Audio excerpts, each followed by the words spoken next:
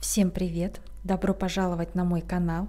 Я подолог Татьяна Пак и здесь я демонстрирую проблемы на ногтях, которые можно решить с помощью подологии. Сегодня на разборе вот такой вот ноготочек. Это анихогрифоз. Одна из э, форм патологии ногтевых пластин, а именно дистрофии. А значит, в мою задачу будет входить подологическая чистка утолщенного ногтя я буду счищать все это безобразие до здоровых тканей ногтевой пластины. Подологическая чистка включает в себя снятие роговевшего слоя до здоровых тканей ногтевой пластины, а также тщательная проработка боковых пазух. На данном этапе можно заметить, э, что ноготь очень сильно деформировался, утопает в боковые пазухи и тем самым не только вызывает болезненность, но и еще а, от давления а, образовывается ороговевший слой кожных масс. Это также может способствовать усилению болевых ощущений. Главной задачей в данном случае будет проработка боковых пазух, освобождение а, ногтевого ложа от спрессованной роговевшей кожи, избавляя наш бедный пальчик от болевых ощущений. Вот вы уже заметили, что а, толщину я полностью проработала. И следующим этапом будет самое вкусное – проработка боковых пазух. На этом я с вами прощаюсь. Желаю вам приятного просмотра. Если это видео будет полезно для вас, ставьте пальчик вверх.